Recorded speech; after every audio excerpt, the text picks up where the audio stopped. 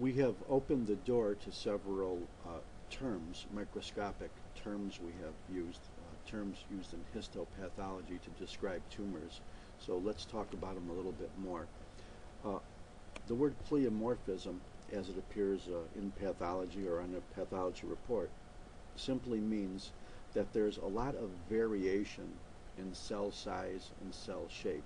So if all cells in a tissue are generally about the same size, pleomorphic uh, cells means there's a lot of variation, especially a lot of big cells, but is also smaller cells. And if the nuclei are normally rather spherical, perhaps they are more bumpy shaped or oval shaped. So pleomorphism refers chiefly to nuclei rather than cells. So pleomorphism in tumors means the tumor cell nuclei have a lot of variation in size and shape. The second most commonly used word to describe tumors is hyperchromasia, and that refers to the fact that in malignancy, the nucleus uh, takes up the uh, nuclear uh, affinity dyes. In other words, hematoxylin more than average. So tumor cells are generally darker than normal cells or more hematoxylinophilic.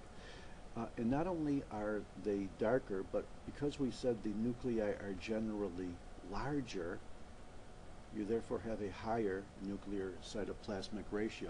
Remember, it's the nucleus that enlarges often when malignancy or malignant transformation occurs. So if the nucleus enlarges, but the cytoplasm stays the same size, then you would have a high nuclear cytoplasmic ratio. This is very important when we look at uh, exfoliated cells and examine them perhaps like on a pap smear.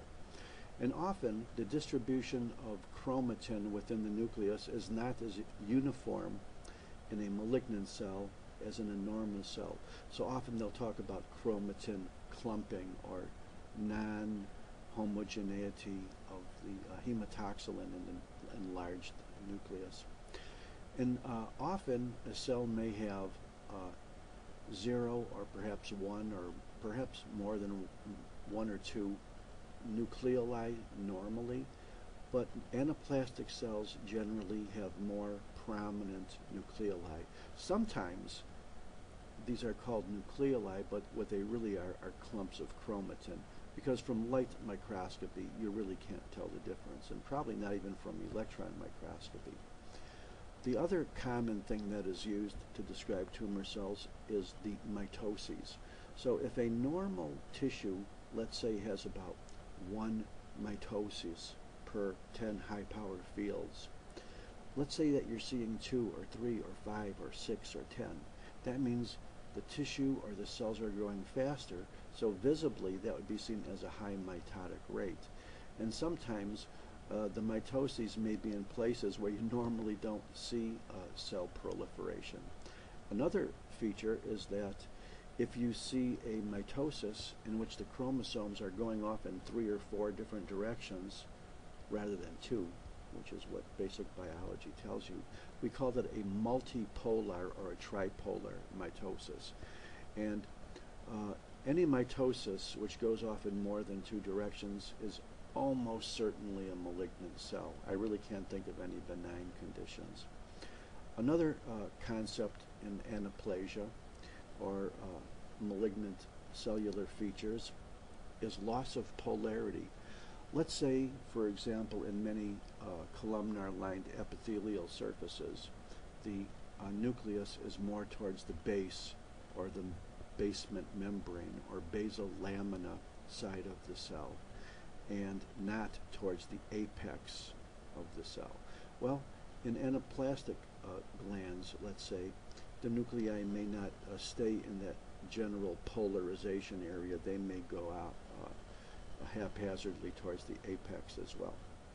Uh, this is a really good example of anaplasia. Why should we talk about it? We got a great picture here. Notice that these nuclei are bigger than they should be, and they are darker than they should be.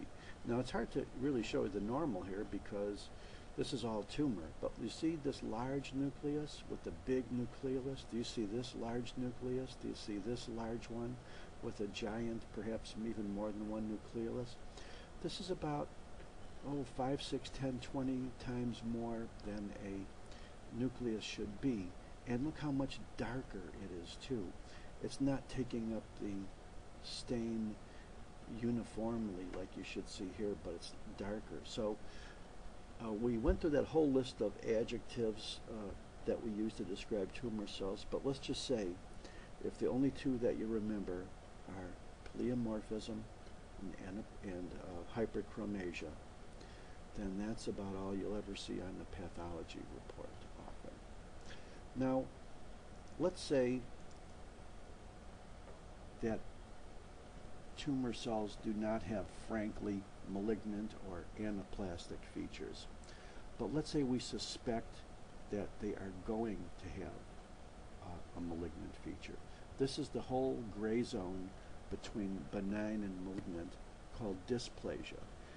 Dysplasia means abnormal growth. It's part of the malignant transformation process. It may take years, it may take months, it may take weeks. But in dysplasia, some of the features that we just talked about are present, but they are not convincingly present to call it a frank anaplasia. Dysplasia may develop into malignancy. It often does, but it may not develop into malignancy.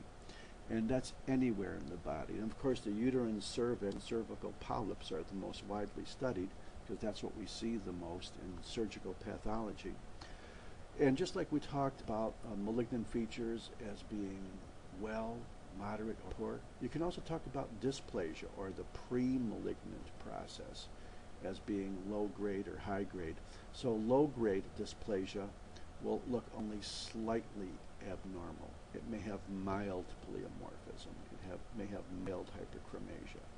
But high grade dysplasia may have extreme pleomorphism or extreme hyperchromasia. And if you want to put some little grades in between that, like moderate, or use a whole bunch of acronyms that have been introduced over the generations, you could do that as well.